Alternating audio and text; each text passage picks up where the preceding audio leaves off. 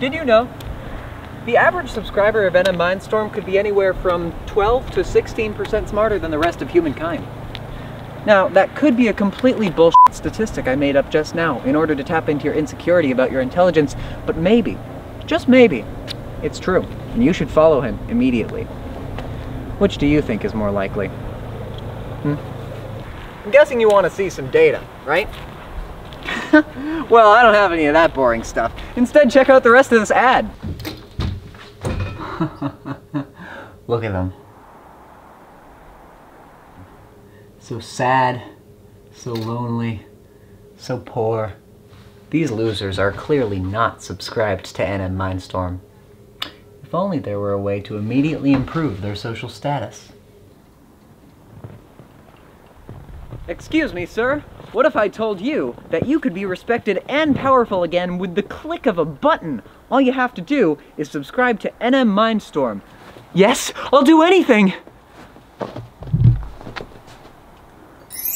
Wow, thanks!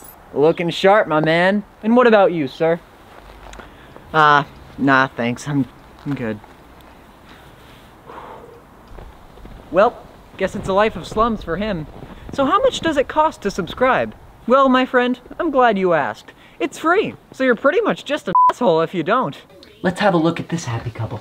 They have a super healthy, promising relationship. But, well, our fella here's been hiding something. Check it out. What is it, my love? I've... I've been going through your phone. What's wrong? I've nothing to hide. I've only ever shared my romance with you, my love. My camera roll is the purest. Dear, I wish that were the problem, but... It's much worse than that. I... I found that you aren't subscribed to NM Mindstorm. It's it's nothing about you.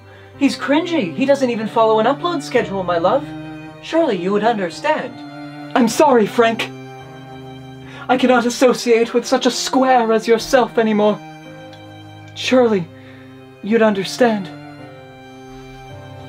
Blast you in a mindstorm!